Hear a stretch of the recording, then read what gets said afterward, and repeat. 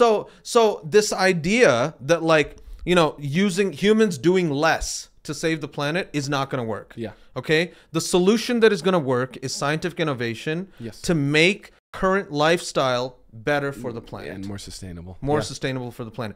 I know this is a hot take. I know it. about like how we need to deal with human-directed climate change because it is real, Yes. right? Humans are changing the planet. Yes. But my my fundamental take is like we're not going to stop.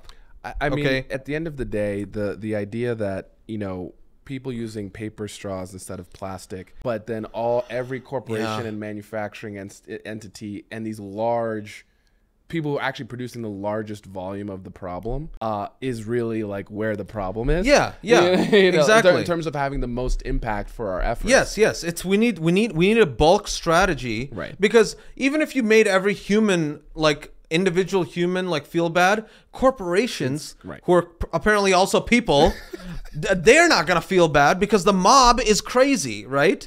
No, exactly. And so and so th- no, they're gonna be like, oh yeah, just dump it right there. It's Yeah, fine. exactly, You know? So so we need a strategy from fundamental science perspective that helps us recycle efficiently and in a better way. Yes. Okay? Plastic recycling is a key problem that we as humans I think we need to solve. Yes. Okay? And this is a really big step in that direction. Okay. Okay? Headline New nickel catalyst enables no sort mixed plastic recycling. This is a uh, new, brand new breaking research coming out of Northwestern University. They put their paper out in Nature Chemistry.